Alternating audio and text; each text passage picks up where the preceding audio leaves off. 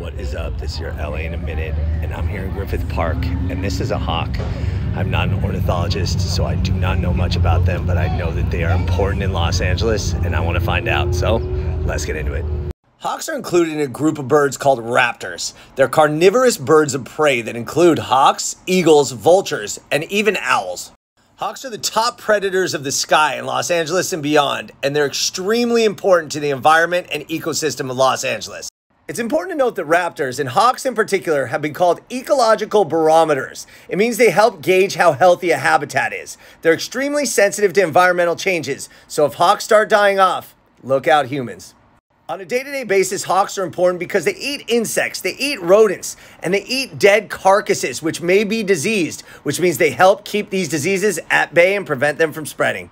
That's good news for us in LA because Hawks have adapted seamlessly to our urban and suburban environments here in Los Angeles. Written records of hawks in Los Angeles date back to at least the early 1800s.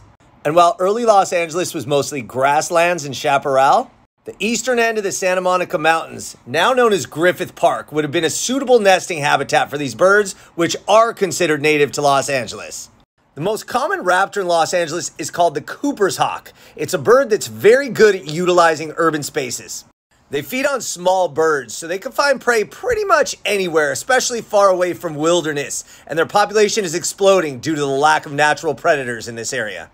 Now, the ones we see most often are called the red-tailed hawks. You can see those flying over when you're in your car, circling above treetops, or perched on traffic lights and poles.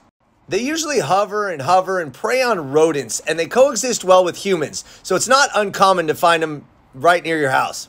The third most common type of hawk in Los Angeles is called the red-shouldered hawk. They're typically found near bodies of water, which in Los Angeles means near the Arroyo Seco, Beverly Glen, and Studio City. These red-shouldered hawks are pretty identifiable, not just because they always have this look on their beak, but because they're the most noisy of all the hawks. They have a distinct kia call and they often whistle, so they're heard before they're spotted. Now, again, I'm not an ornithologist, but Friends of Griffith Park has this thing called the LA Raptor Study, which engages volunteers all across Los Angeles to monitor raptor nests, their behavior, and how they're adapting to the urban environment. You can check it out online, or you can even volunteer if you wish. In short, not only are hawks beautiful, but they're integral to the ecosystem in Los Angeles. And if you keep an eye out, you can probably spot some hawks flying near you. All right, LA, it's been a minute.